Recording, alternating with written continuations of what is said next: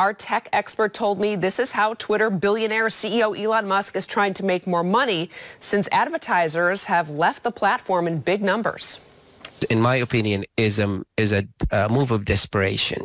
because any social uh, media platform, their biggest income coming from advertisement, and he's not getting that. We understand this one because of so many factors, uh, uh, because his uh, tweets, the behavior he has on Twitter, he he actually actually impacted so many people who distanced themselves from the platform, and they don't want to advertise anymore in that.